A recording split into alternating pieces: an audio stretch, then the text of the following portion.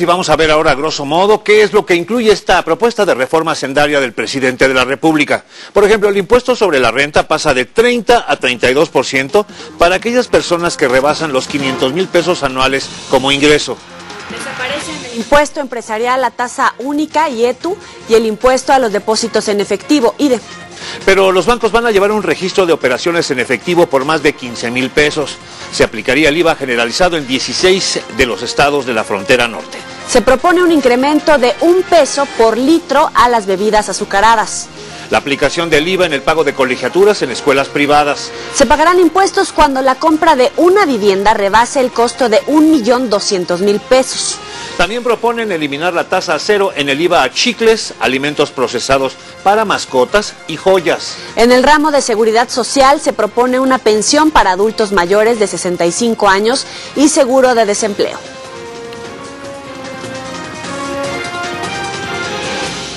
Precisamente sobre este particular, invitamos a nuestra amiga, ya ha estado con nosotros, la doctora Leticia Armenta Fraire, directora del Centro de Análisis Económico del TEC de Monterrey, Campus Ciudad de México. Doctora, ¿cómo está? Bienvenida, muy buenas noches. Muy bien, muchas gracias, buenas noches. De entrada, en términos generales, parece que algunas de las quejas, algunas de las resistencias son, pues en el sentido de que la clase media se vería perjudicada. Sí, efectivamente, ah, hay varias eh, de las medidas que afectan directamente a la clase media. Por ejemplo, ahí ustedes mencionaban en el resumen una parte que tiene que ver con el ISR, en donde se incrementa eh, precisamente la tasa, y eh, se está considerando un rango anual de 500 mil pesos. Eh, propiamente en ese rango es en el que fluctúan los salarios de la clase media. Y por si no fuera poco, eh, se eliminan una serie de deducciones que precisamente eh, benefician a esta clase. ¿Cuál sería esta lo más importante esta, de estas deducciones? De las deducciones eh, se habla que hay un tramo en el que se puede deducir solamente el 10% de los ingresos o dos salarios mínimos, lo que resulte menor. Claramente, insisto, hacia pensando en la clase media, el menor rango va a ser estos dos salarios mínimos. Por eso es que considero que tiene una afectación directamente hacia el, pues, ingreso, el ingreso, propiamente de las de las familias de clase media. Los empresarios se quejan de que en vez de que haya más número de contribuyentes, es el mismo porcentaje de gente pagando más impuestos. Exactamente.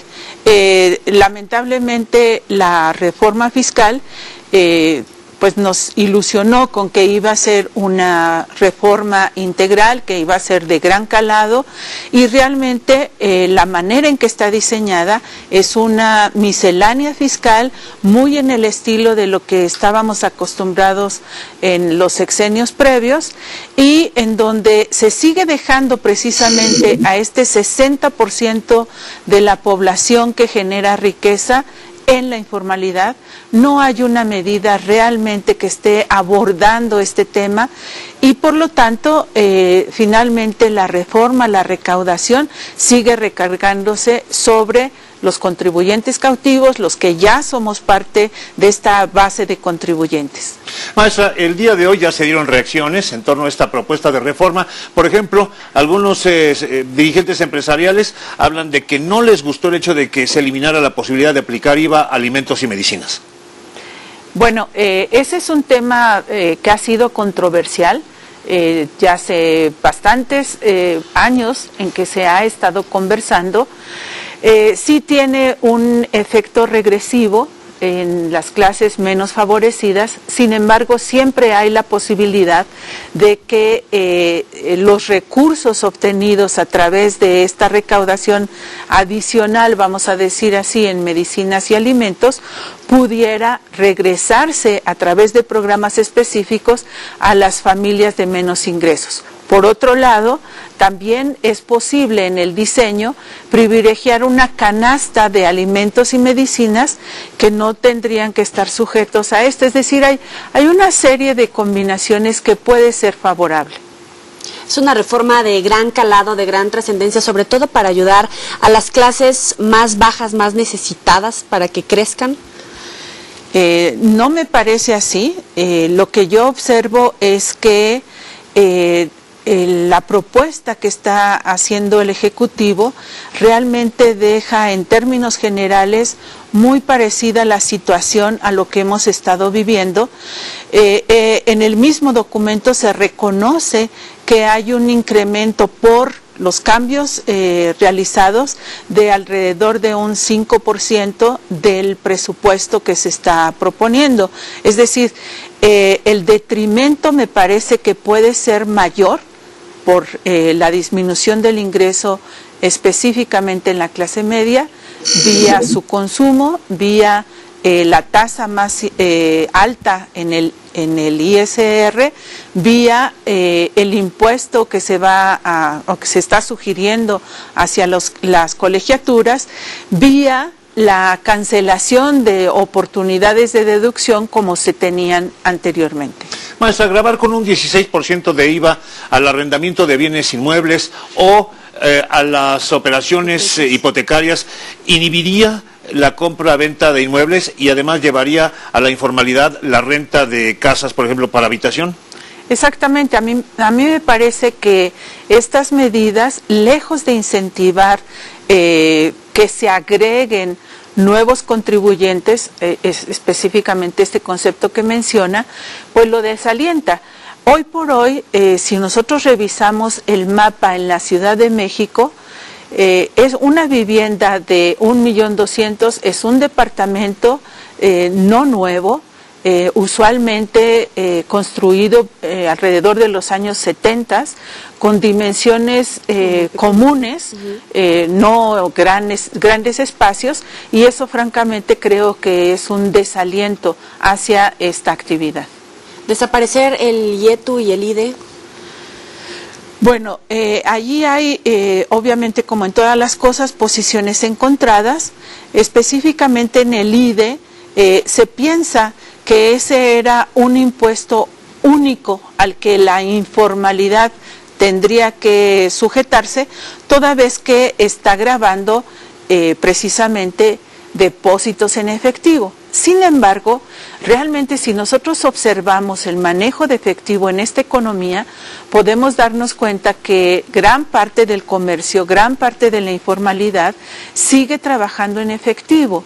Es decir, estas medidas, lejos de favorecer que se incorporen al sistema financiero, que hagan uso de los instrumentos formales, lo desalienta, estimula más el uso de efectivo, que prácticamente es eh, una costumbre en nuestra economía, los comerciantes eh, medianos y pequeños favorecen mucho este comercio y lejos de, insisto, de incentivar tanto la incorporación a la formalidad como al sistema financiero y sus ventajas, porque también hay que decirlo, eh, ser parte de los usuarios del mercado financiero favorece también a, estas clases, a los comerciantes en general, pues para que se puedan capitalizar en muchas ocasiones. Se hablaba, Se hablaba de el IDE como una medida para evitar el lavado de dinero. ¿Esto es una, un contrasentido?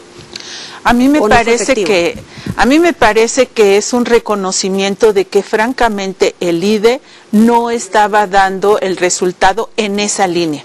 Si eh, el objetivo es el lavado de dinero, tendría que complementarse con muchas otras medidas. A nivel internacional existe incluso instituciones que han diseñado programas que tienen, nada más para mencionarlo, más de 50 pasos para precisamente eh, evitar el lavado de dinero y francamente un impuesto como este pues es insuficiente en ese sentido. Maestra, por último, por cuestión de tiempo, este es un eh, tema largo, un tema que nos llevaría todo un programa, pero ¿quedan claras cuáles son, eh, cuáles son las reducciones de beneficios para las grandes empresas en materia impositiva?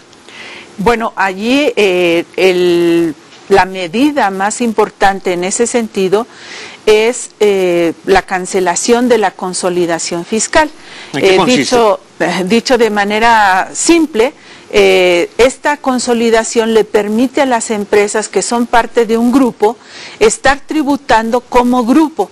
Es decir, que si una parte del grupo tiene utilidades y otra tiene pérdidas, se genera un efecto neto precisamente para compensar una con la otra. Con la eliminación de esta medida, lo que se hace o lo que se está pretendiendo es que cada empresa contribuya de acuerdo a su estado de resultados y eh, pues que no haya la ventaja de la consolidación. Muy bien.